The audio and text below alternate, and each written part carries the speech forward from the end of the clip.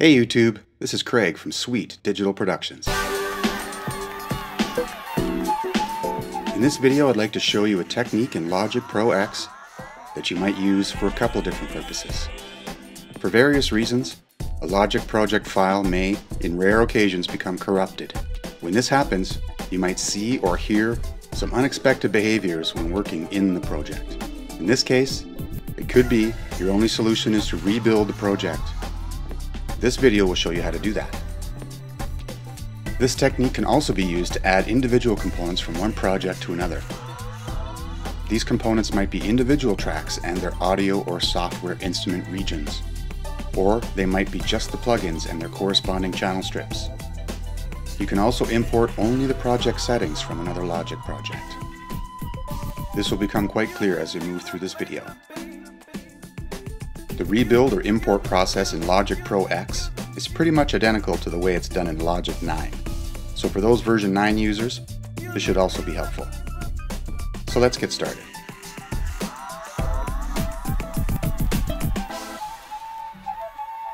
I have created a new project with a single audio track that I will remove later. Remember, a project cannot be created without at least one track. There are a few different ways to access the track import view. This is just the way that I find most comfortable. I want to find the Logic project that contains the components that I need for rebuilding a project or for importing into an existing working project. So I will click on the Browsers button on the right-hand side of the control bar. This icon may be familiar to you as the Media button in other Apple applications.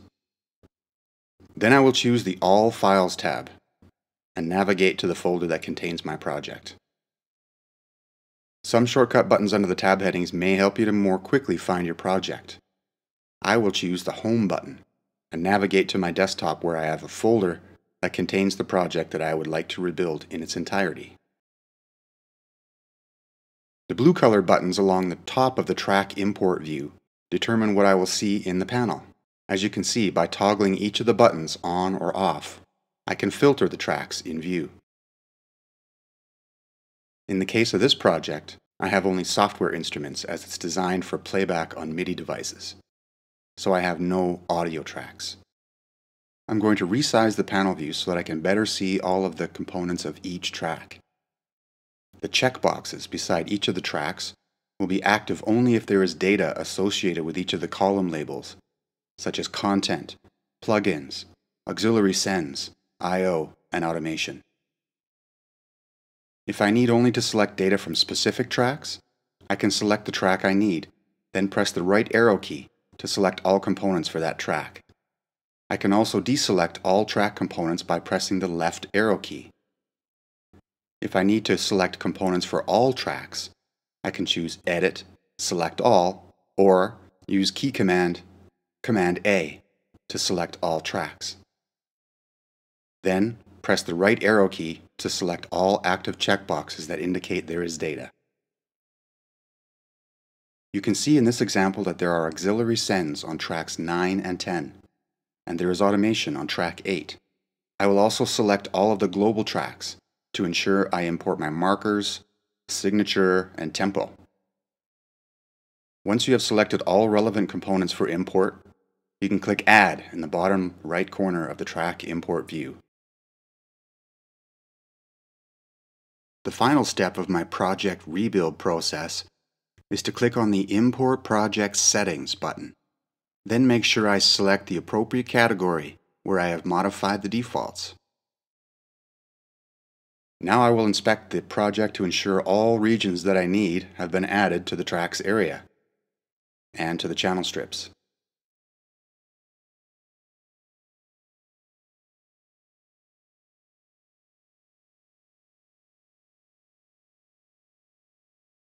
The regions are all there. Sends have been added to tracks 9 and 10. The automation is there for track 8. My markers are on the marker track and the tempo information has been updated to reflect the imported project. To complete this exercise, I will delete the initial empty audio track and save the project accordingly. I hope this tutorial has been helpful for you. Again, my name is Craig from Suite Digital Productions. Until next time, good luck with your audio projects.